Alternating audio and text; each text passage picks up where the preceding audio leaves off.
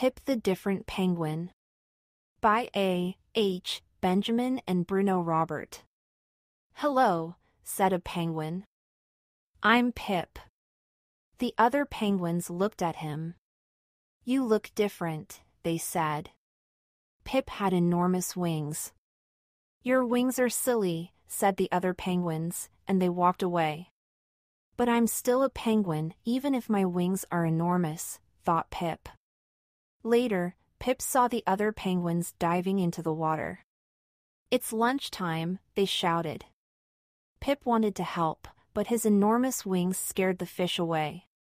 Go away, hissed the other penguins. We don't need your help. That afternoon, Pip saw some penguins on their way to the sea. They had left their chicks on the ice. I can look after the chicks for you, said Pip. Please, let me. I'd love to look after them.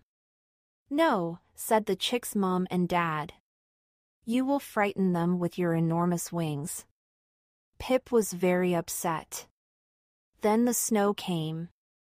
The penguins liked to slide down the hill on their tummies. Wee, they whizzed. That looks fun, thought Pip. He tried to slide down the hill, but he tripped over his wings and crashed ha ha, laughed the other penguins. You're so clumsy. Poor Pip turned bright red. The next day, there was a big snowstorm.